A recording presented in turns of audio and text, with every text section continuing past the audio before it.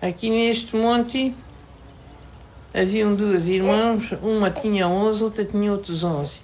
O irmão morava lá no montinho, tinha outros 11. E uma irmã morreu à falta de tratamento quando o filho estava para nascer. Não foi um médico, não havia. Não foi. Não foi nada, foi nada. Agora hoje não.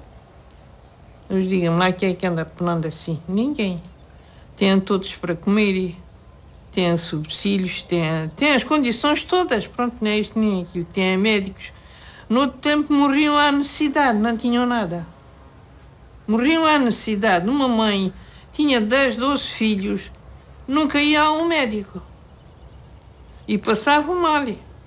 Algumas passavam mal. Passavam mal e andavam trabalhando. Andavam, andavam trabalhando. Não era nem isto nem aquilo. Mulheres que eu conheci. Ai, mãe.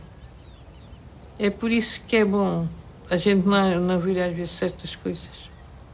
Tanto, tanto que penaram. Coitaditas. Infelizes.